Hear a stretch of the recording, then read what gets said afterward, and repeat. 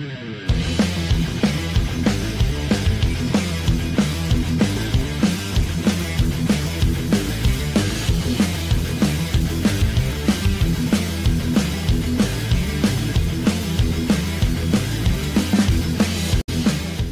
great. Uh, really want to thank uh, Chetan Desai sir and Vinod Phadke sir for giving me an opportunity to play for Goa. With the help of Prakash Mainka sir also because I was in touch with him before I spoke to Chetan sir or Vinod sir. Uh, I, I- went through him, I spoke to him. So we were in regular touch and he told me that the team is really good. It's a very young team. They need a few professionals so we can guide the local players as well. So that happened, and then when I got in touch with Chetan sir and Vinod sir, I came to Goa. I had a word with them. They were also happy with whatever recently I had done with the other teams as well. And uh, then gave, they gave me an opportunity to play for Goa. So it's been wonderful uh, past two years. The biggest disappointment, of course, was uh, we, rele- we got relegated last year, which was you know, very disheartening. We had, you know, everybody was down, and we were thinking about our careers, what's going to happen, and how we are going to move forward. The association also was feeling bad, obviously, because we couldn't give them the desired results they expected. Uh, so the main uh, question was how to get back. So, and for me, as I led last year, I was a captain for the team, and the way the guys supported me was immense. It was wonderful to see them every match before the start of every game. And whenever, whenever we used to have the team meeting, they would come and say that you know we have to play in the Group C, Group A, or B to be recognized. You know, to be playing maybe Duleep Trophy or to play for the India A or to get in touch with any of the uh, IPL teams uh, to be noticed.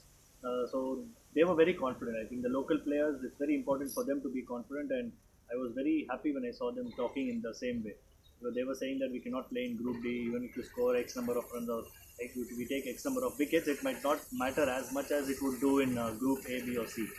So that way, the players also were very uh, motivated, and you know they were looking forward to playing for the to get to getting uh, uh, to come up to uh, to to qualify. That was the main uh, goal, and then we did that. So it was wonderful last year. I think the way we played as a team that didn't happen. I think the previous year when we played, it was sort of you know we were just going with the flow.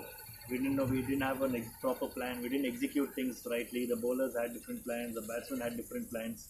So it didn't come along together. And then you know there was, it was very difficult for us to win few games and then at least try and be there in the same group. So I think last year what I saw was wonderful. Everyone was motivated. Of course, it might not have been the best of the teams. I, I totally agree with that. But then uh, the way we coped up with everything, whatever loss we had previous years, we you know took it all in a stride, and we were we had a talk with the management as well. They just said one thing clear that we know whatever it is, we have to qualify this year. For us, the main games were definitely Pondicherry and uh, Chandigarh. Uh, it's not that the other teams are a little weaker, but then these two teams we felt are very competitive enough. So it was very important to you know win against these two teams.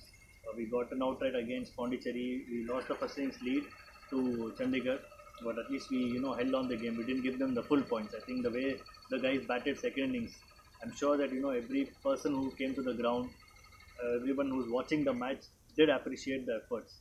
I think uh, you guys, the way they batted, you know, without giving a wicket was wonderful to see. And so the same grit I feel this year if we can have as a team when we play, even the C group.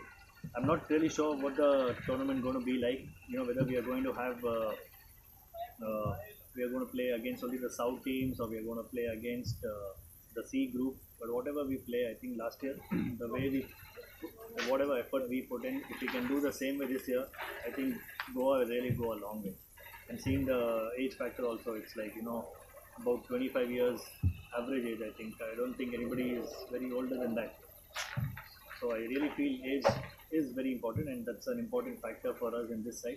So I think if we can just stay together and play how we did last year, I think we, we will do very well this year as well. That's what I'm. So we assembled uh, last week here. Uh, I think all the players were called by the association, and we had a medical and fitness test, and all the SOPs we are following. I think as per the BCCI guidelines, whatever they have given to the association. So right now we are you know focusing for another maybe two three weeks for only fitness because it's been a long time boys i'm sure that you, you know they're doing it at, their place whatever fitness but it's very important to come back to the ground and do all the ground activities so right now we have started with uh, six sessions in a week So we are doing three days of uh, weight training and three days of uh, ground training as well. Uh, so we are maintaining uh, the social distancing is very important right now. So we're coming in these groups. We're making a small group. Like so, we have uh, totally about 30 players. So we are splitting them up. Like say probably a four or five in a group. So not especially when it comes to weight training in the gym, we are not having more than four people at a time. So the batch sizes are given. I think we're starting at nine o'clock. We finish three batches, and then evening uh, three batches. So that, that's, that's how we are doing it, and I think that's very important for us not to you know get all together and you know crowd up. So I think we'll just focus on the training for now, uh, another 15 to 20 days, and then probably I think once uh, BCCI gives a clarity about the season, when are they planning to have, and what kind of tournament we'll be having, uh, we'll start uh, practicing. I think so. Uh, maybe somewhere in early December or late November, we'll uh, get on with the skill work as well. But for now, it's going to be good amount of training. We have a new trainer this year. I'm sure he's going to take care of all the players when it comes to fitness, when it comes to weight training and skill wise. We have done a fitness test also to just know each player where they stand. We have done the yo-yo test as well. So it went pretty good. Whatever we had, uh, whatever the benchmark was set by the BCCI and uh, the state association I think most of the, I think 100% everybody's passed. So we'll do another test probably uh, end of the camp and see how much improvement uh, the guys are showing, uh, which will help us during the course of the season. So I think um, right now we'll uh, just be training very hard for the next uh, 15 to 20 days, and then we'll take it forward from there once BCCI confirms on the dates and Uh, what what tournaments will be held this year.